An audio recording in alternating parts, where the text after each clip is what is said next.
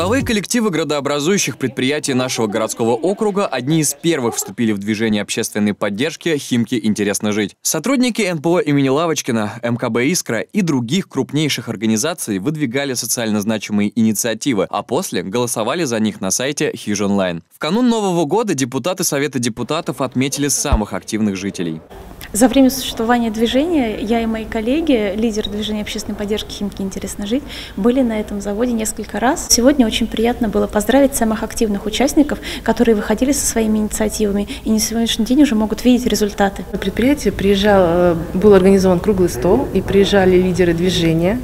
А наш коллектив нашего предприятия выдвинул более 50 инициатив, и лидеры движения поддержали. Большая часть была выполнена. Также на встрече депутаты депутаты рассказали о ходе реализации инициатив, которые пока еще находятся в процессе исполнения.